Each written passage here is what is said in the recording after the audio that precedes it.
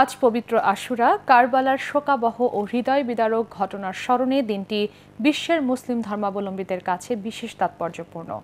বাংলাদেশেও ত্যাগ ও শোকের মহিমায় দিনটি পালন করা হচ্ছে। এ উপলক্ষে রাজধানীতে শিয়া সম্প্রদায়ের মানুষ তাজিয়া মিছিল বের করে। করোনার কারণে গেল দুবছর সীমাবদ্ধ পরিসরে হলেও এবার বড় পরিসরে তাজিয়া মিছিল করে শিয়া সম্প্রদায়। বিস্তারিত জানাচ্ছেন শফিকুল ইসলাম শামীম। হিজরি বছরের প্রথম মাস মহরমের দশ তারিখ মহানবী হজরত মুহম্মদ সাল্লাহু আলাইসাল্লামের দৌহিত্র হজরত ইমাম হোসাইন রাদিয়াল্লাহ কারবালার প্রান্তরে শহীদ হন।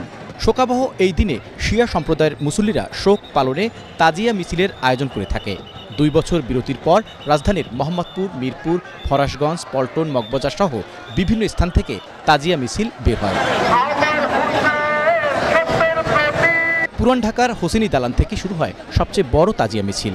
কঠোর নিরাপত্তার মধ্য দিয়ে মিছিলটি Azimpur, Nilkhet, New Market, Science Lab হয়ে জিগাতলা গিয়ে শেষ হয়। হাই হোসেন হাই হোসেন মাতুম করে তাজিয়া মিছিলে অংশ নেন হাজার হাজার শিয়া সম্প্রদায়ের মানুষ। তাজিয়া মিছিলের মূল আয়োজনে ছিল হোসেনি দালান ইমামবাড়া ব্যবস্থাপনা কমিটি।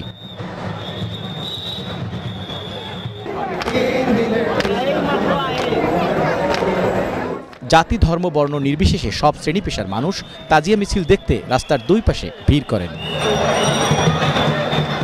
ঐতিহ্যবাহী তাজিয়া মিছিলকে কেন্দ্র করে কঠোর নিরাপত্তা ব্যবস্থা গ্রহণ করে আইনশৃঙ্খলা বাহিনী। শফিকুল ইসলাম শামীম, এটিএন বাংলা, ঢাকা।